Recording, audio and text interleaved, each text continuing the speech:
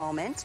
Um, we do have some great goals and I'm sorry, some journals on hsn.com if you would like to get started. I do recommend get a journal.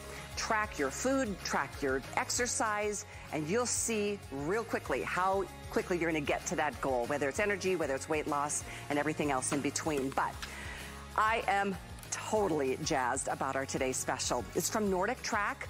There's a name you know. It's been around for over 40 years. It is the iconic brand from Icon Fitness, and it's been around to help us achieve our goals in ways that no other manufacturer does. It's our star of the day. I'll tell you all about it right now.